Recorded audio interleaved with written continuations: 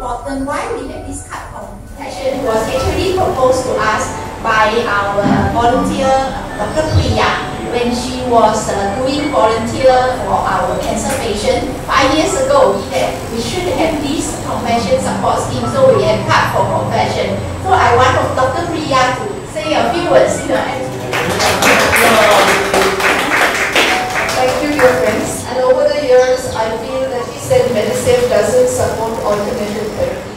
but that's the best thing for our planet because every chemical treatment that we do harms the planet.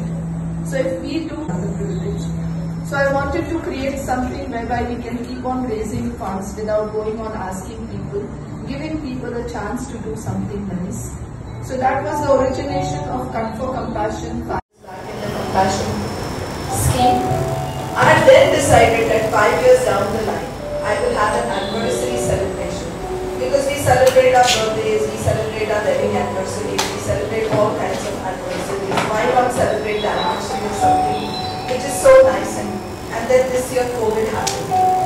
With COVID, good organizations did not get as many funds as they need.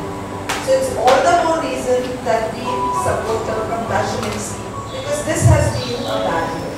Five years back when I did it, I was wholly in support,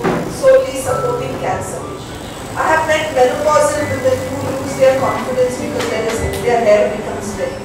I have met ladies who get pregnant and deliver and then start losing hair and feel bad. See, for a man it is so easy, right?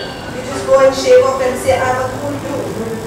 But for a woman, somehow that is not there. So if her hair goes, her confidence also goes. She sinks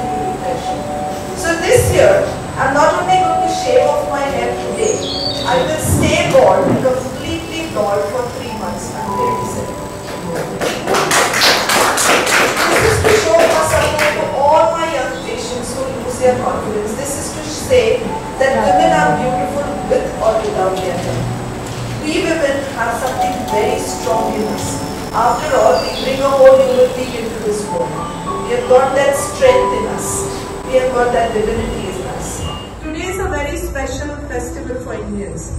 From today for the next nine days, we celebrate divinity in women. So if you want to know why I'm dressed like this, is because from today for the nine days, we will be celebrating divinity and beauty in women. So today is the first day and I'm very happy that I'm doing such a beautiful act for Kampung Senang and for what Kampung Senang represents, that is the environment, reducing global warming, being vegan, and just being compassionate to each. Thank